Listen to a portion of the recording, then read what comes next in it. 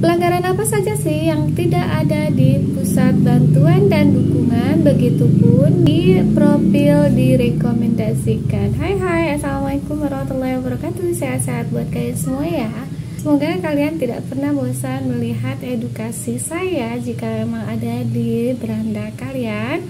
Mohon untuk segera disapa dan tinggalkan jejak di sana ya teman-teman. Oke aku lanjut ke topiknya saja ya Kira-kira kalian pun bingung kan ya jika memang tidak ada pelanggaran di dalam pusat bantuan dan dukungan, begitupun di profil rekomendasi, jadi kalian pun tidak tahu arah kalian mau ke mana sehingga otomatis kalian berpikir akun kalian ini sehat-sehat saja.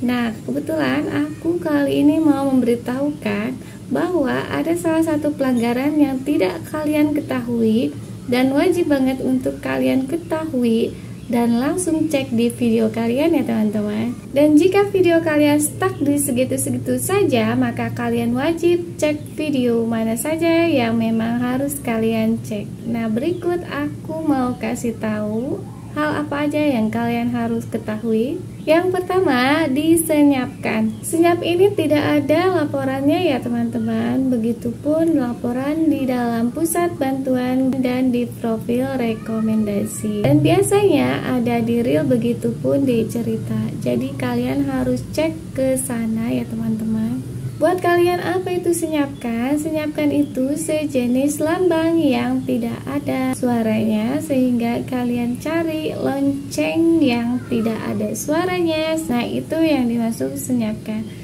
Jadi wajib banget dari sini kalian cek real kalian begitupun cerita. Gimana sih caranya teh? Caranya sudah saya beritahu di video sebelumnya, oke? Okay?